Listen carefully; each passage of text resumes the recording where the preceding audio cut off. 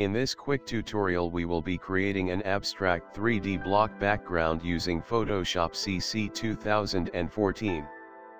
We are not using any recent features here so if you have an older version of Photoshop installed you should be able to follow along without any problems. Create new Photoshop document.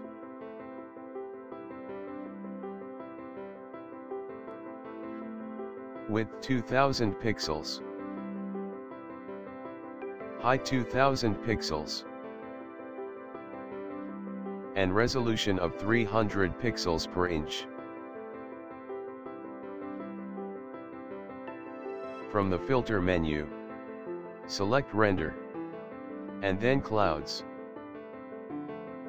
Again from the filter menu, select pixelate. And then mezzotint.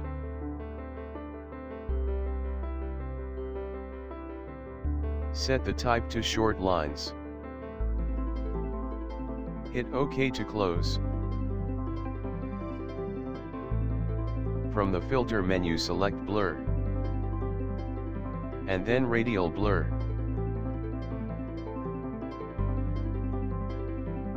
Enter an amount of 100.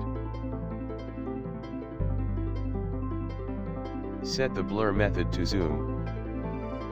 Set the quality to best. And hit OK.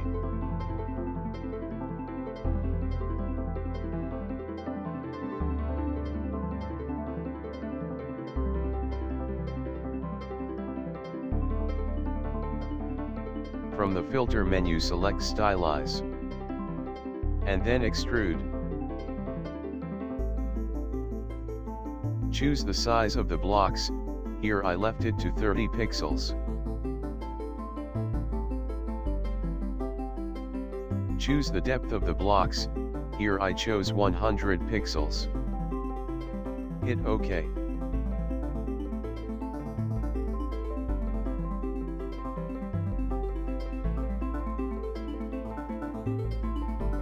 Add a hue saturation adjustment layer. Check colorize box on. Choose a hue that you like.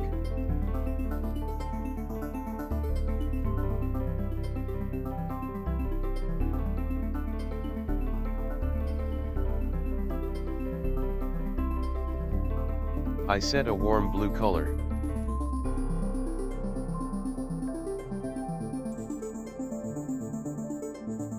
Hope you enjoy, thanks for watching.